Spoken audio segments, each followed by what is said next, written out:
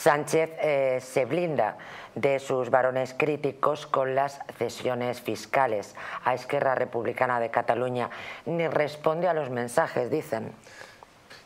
¿Qué, nos, ¿Qué vamos a pensar, no? Pedro Sánchez está de vacaciones, o sea, ¿cómo va a responder a los cómo va a responder a los distintos varones, pero yo creo que todavía que alguien se sorprenda de la actitud de Pedro Sánchez narcisista respecto a los temas que le atañen, pues yo creo que mm, no debería de sorprenderse nadie, igual que sus cambios de opinión no deberían de sorprender a nadie. Porque él no miente. Él no miente. Él cambia, de opinión. Él cambia de opinión, efectivamente. Entonces, claro, si lo que tenemos que tener en cuenta es que Pedro Sánchez es el único que realmente tiene poder dentro del Partido Socialista, porque han perdido todas las autonomías, todas las autonomías salvo dos por casualidad, pues por un par de miles de votos, pues cuál es la realidad? Que la mayoría de varones, por mucho que hablen, tienen a los amigos, a los sobrinos, a la gente que no han podido colocar porque han perdido las instituciones, etcétera, en el gobierno de Pedro Sánchez. Por tanto, nadie se va a posicionar en contra del planteamiento de Pedro Sánchez, aunque les cueste no gobernar en cuatro o ocho años, porque la gente, desgraciadamente en política, viven el ahora, no en el dentro de cuatro o dentro de ocho años.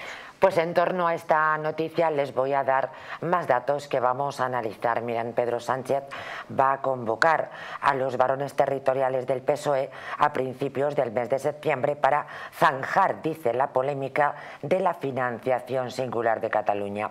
En Ferrat creen que durante el mes de agosto, con las vacaciones, pues que se han calmado las aguas y las eh, feroces críticas al pacto alcanzado con Esquerra Republicana de Cataluña y que bueno, que ahora así es el momento, con Salvador Illa ya investido como presidente, para aceptar la celebración de un Consejo de Política Federal extraordinario. Durante las últimas semanas, el jefe del Ejecutivo, completamente desconectado en Lanzarote, como le hemos contado en este programa, oigan, que ni ha respondido a los mensajes que le han mandado los varones. Así que, ¿qué va a pasar Rafa Pal en estos próximos días cuando eh, se convoque, ahora que parece o se cree el presidente del gobierno que las aguas están más calmadas, este comité? Pues yo creo que eh, aquí lo que sucede es que el de facto número dos del PSOE es Salvador Illa. Por algo se ha ido a Lanzarote eh, de vacaciones para coincidir con Pedro Sánchez.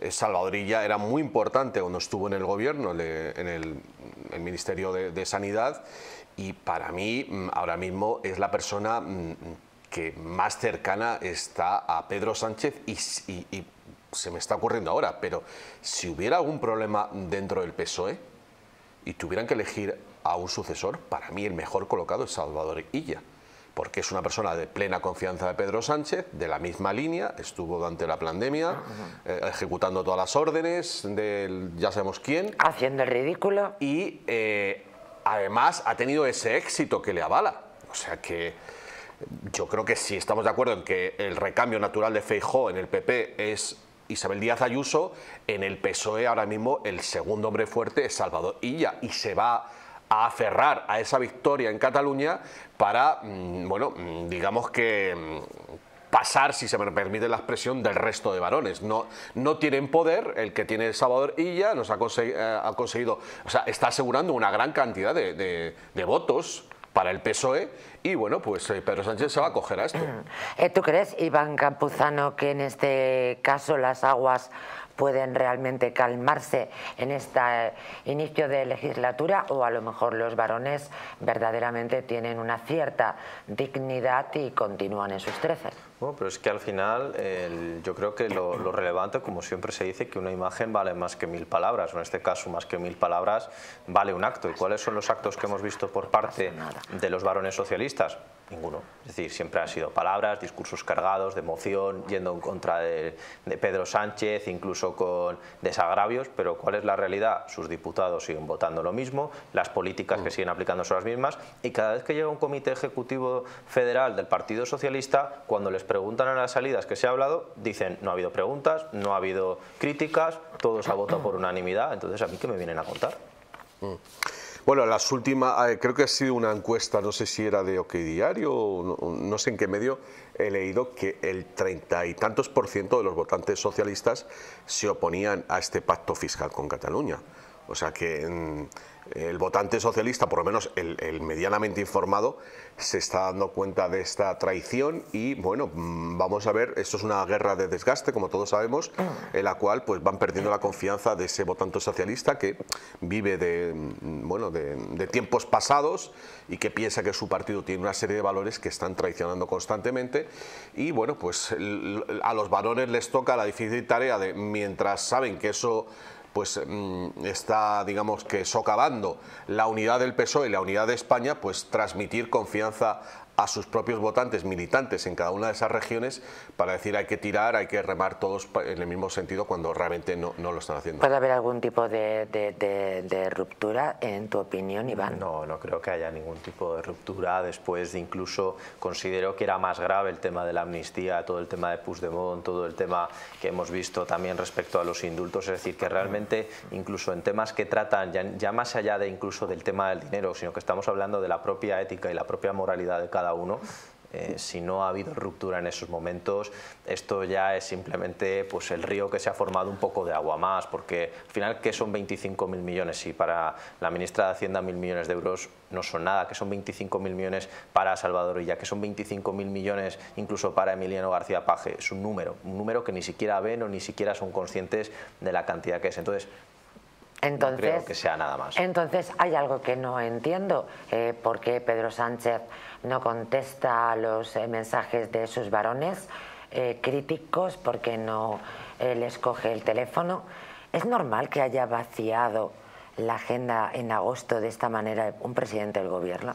Hombre, yo creo que quiere descansar en, el puro sentido de la palabra. De los cinco días de reflexión. sí, sabe, sabe que tiene muchísima presión dentro del Partido Socialista y bueno, como digo, eso de que se haya ido a Lanzarote y precisamente junto a Salvador Illa, pues, eh, pues necesita un con refuerzo. Illa, con Marlasca y no olvidemos eh, también... Su guardia pretoriana, digamos. bueno, claro, su guardia pretoriana, y con Zapatero. Y exactamente, o sea... Con el demonio. Exactamente, el, núcleo duro del Partido Socialista Obrero Español actualmente. Y bueno, pues ahí eh, en esas vacaciones, bueno, pues si ha dejado de contestar es porque, porque quiere tener confianza plena. Sabe que le espera un, curso político muy duro y bueno, pues en esos días eh, pues pretende estar rodeado de gente 100% mm, afín leal. Sin embargo, tengo la impresión, no podría darles datos concretos porque no los recuerdo, pero eh, yo creo que no es normal que un presidente vacíe de tal manera mm, su agenda estival. No, yo creo que no tiene eh, precedentes anteriores. De una o de otra manera, no sé, siempre hay algún acto, siempre hay alguna declaración. Mm es raro. O sea, es como está desaparecido en combate con este grupito, en fin, que tenemos que desconfiar naturalmente, incluido Zapatero, que, imagínense, me extraña enormemente. Pues que también tenemos, yo creo que recordar que Pedro Sánchez se encuentra en una situación que ningún otro presidente de este país se ha encontrado. Es decir, eh, si vamos a incluso el propio Zapatero en su época, no tenía líos judiciales, no tenía casos de corrupción, no estaba acosado por sus socios. Es decir, que si ponemos, eh, tenía una legislatura que había tenido sus más y sus menos, pero había podido aprobar leyes. Pedro Sánchez en esta legislatura solamente ha aprobado realmente una no, dos. única ley así importante que La de la amnistía y, y, una ley de cuantía menor, Efectivamente. pero solamente dos. Efectivamente, todos pensamos en la ley de amnistía. Entonces, primero se ve rodeado por sus socios, que Zapatero recordemos que solamente tenía un socio, que era el catalán, era, eh, en este caso eran los catalanes, ya está. Ahora tiene que gobernar con los independentistas catalanes, independentistas vascos. Tiene que gobernar también con toda la coalición de Sumar, que recordemos que es contentar a otros siete partidos. Tiene que gobernar dentro de su propio partido, que ha perdido todo el poder territorial. Encima se ve acosado por el tema de Coldo, el tema de Ábalos, el tema también de, del Seagate, se ve acosado por todo el tema también judicial de su hermano, de su mujer. Hombre, se encuentra en una situación que mm. ningún otro presidente de España se ha encontrado. Necesita vacaciones, está claro. Sí, eh, la verdad que es una situación muy complicada que él, bueno, mm, siempre en público aparenta normal. A veces ha tenido algún, algún desplante, algún acto así un poco extemporáneo, pero de momento parece que se mantiene eh, centrado. Pero desde luego mm, yo creo que debe tener miedo del nuevo curso político por todo el asunto de Begoña, de su hermano.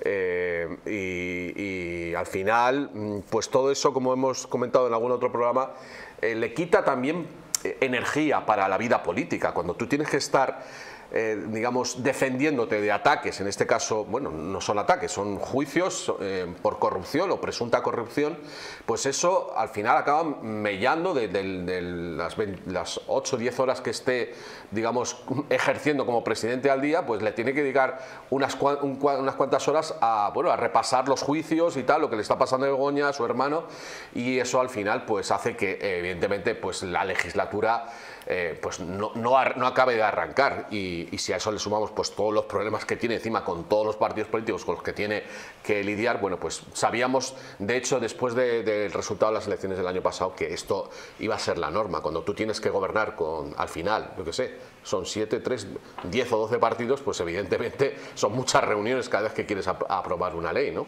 Sí, bueno, al final ya se lo dijo Rubalcaba antes de, antes de las últimas declaraciones políticas que tuvo, que al final era el gobierno Frankenstein, es decir, que esto no es un invento de la extrema derecha ni de la fachosfera, es decir, que al final, incluso con menos partidos de los que existían a día de hoy, eran conscientes de que iban a tener un problema de gobernabilidad serio y al final eso es debilidad, se traduce en debilidad. Muy probablemente yo creo que es una de esas pocas cosas que al final pues la, la realidad se come ¿no? a uno mismo.